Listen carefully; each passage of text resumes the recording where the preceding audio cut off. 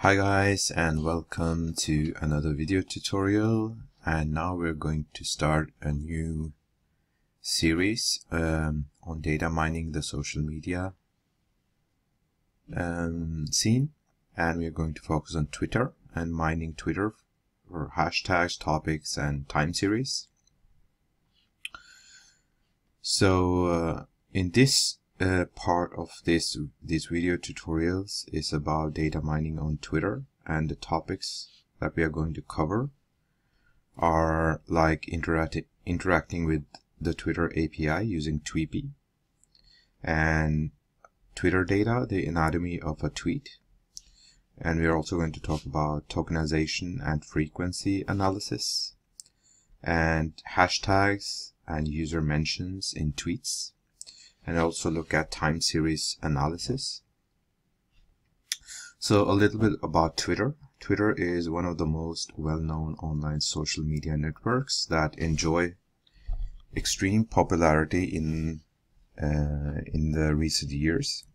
The service they provide is referred to as microblogging, which is a var variant of blogging where the piece of content are extreme, extremely short in the case of Twitter. There is a limitation of 140 characters, like an SMS, for each tweet. And different from other social media platforms such as Facebook, the Twitter network is not bidirectional, meaning that the connections don't have to be mutual. You can follow users who don't follow you back and the other way around. Traditional media is adopting social media as a way to reach a wider audience. And most celebrities have a Twitter account to keep in touch with their fans. Users uh, discuss happening events in real time, including celebrations, TV shows, sport events, pol political elections, and so on. And Twitter is also responsible for popularizing the use of the term hashtag as a way to group conversations and allow users to follow a particular topic. A hashtag is a single keyword prefixed by a hash symbol. For example, hash Halloween. Uh, the also the hash sign is also sometimes called pound sign. Uh, and whenever somebody tags a tweet conversation with the hashtag ha Halloween, it's used to show pictures of Halloween costumes, for example, or, for example, hashtag water on Mars, which was trending after NASA announced that they found evidence of water, water on Mars. So given the variety of uses, Twitter is a potential gold mine for data miners. So let's get a little bit deeper into Twitter and the Twitter API. Uh, Twitter offers a series of APIs to provide programmatic access to Twitter data, including reading tweets, accessing user profiles, and posting content on behalf of a user. In order to set up our projects to access Twitter data, there are two preliminary steps as follows registering your application and choosing a Twitter API client. The registration step will take a few minutes, assuming that we already logged in our Twitter, Twitter account. All we need to do is point our browser to the application management page, which is apps.twitter.com. And you'll get to this page or uh, creating a apps page. So,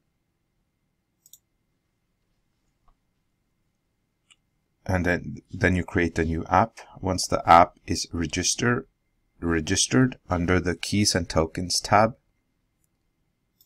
which is here. Uh, don't use these consumer keys and consumer secrets because these are my my uh, apps. So um, I highly recommend you create your own. Don't use it because I will be deleting this.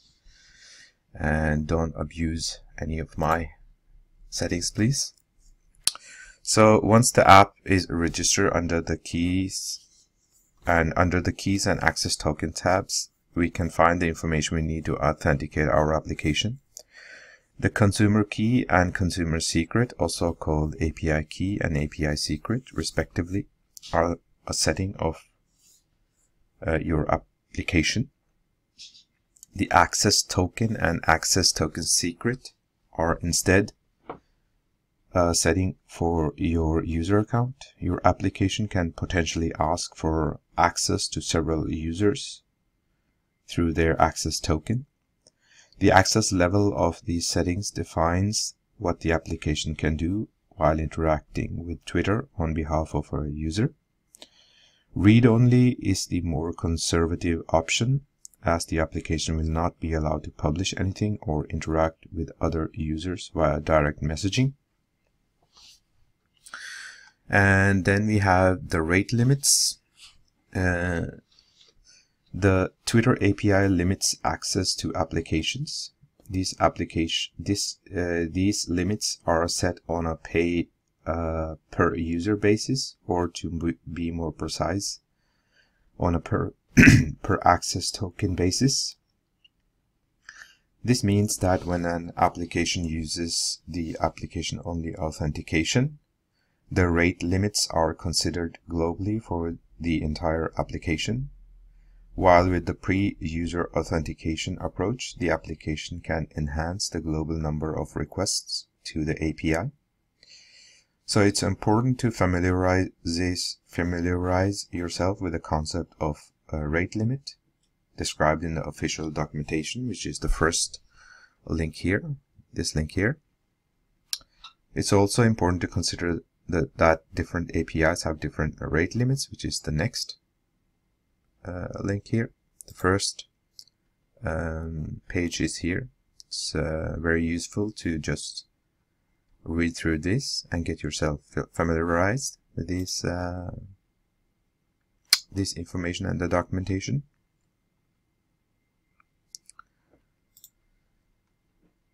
So the implication of hitting the API limits is that Twitter will return an error message rather than the data we're asking for. Moreover, if we continue performing performing more requests to the API, the time required to obtain regular access again will increase as Twitter could flag, flag us as potential abusers.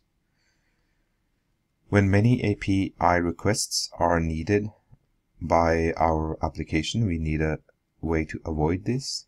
In Python, the time module, part of the standard library, allows us to include arbitrary suspensions of the code execution using the time.sleep function. For example, here is a pseudocode. Uh, in, and in this case, the second request will be executed 10 seconds as specified by the sleep argument after the first one. And then we have the search versus versus stream um, section. Twitter provides more than a single API. In fact, it will be explained a little bit later that there is more than one way to access Twitter data.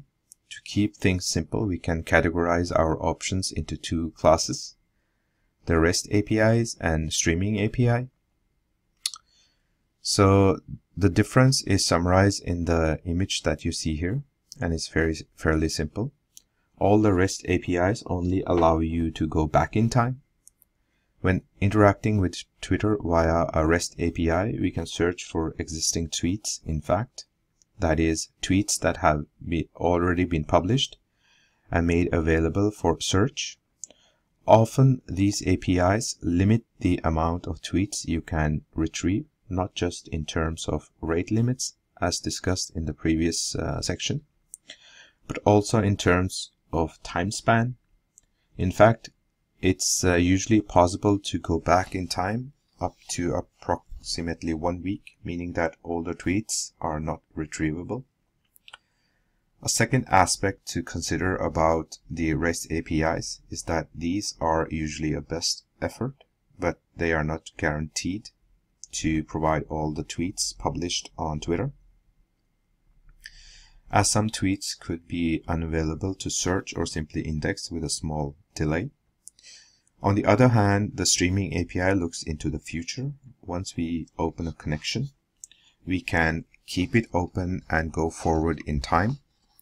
By keeping the HTTP connection open, we can retrieve all the tweets that match our filter criteria as they are published. The streaming API is generally speaking the preferred way of downloading a huge amount of tweets as the interaction with the platform is limited to keeping one of the connections open. On the downside, collecting tweets in this way can be more time consuming as we need to wait for the tweets to be published before we can collect them. So to summarize, the REST APIs are useful, useful when we want to search for tweets authored by a specific user or we want to access our own timeline, while the streaming API is use useful when we want to filter a particular keyword and download a massive amount of tweets about tweets about it. For example, live events. So that's it for this uh, section of uh, the tutorial and uh, in next step we're going to start collect some data from Twitter and setting up our applications. So remember to like this video and remember to subscribe. Thank you and see you in the next video.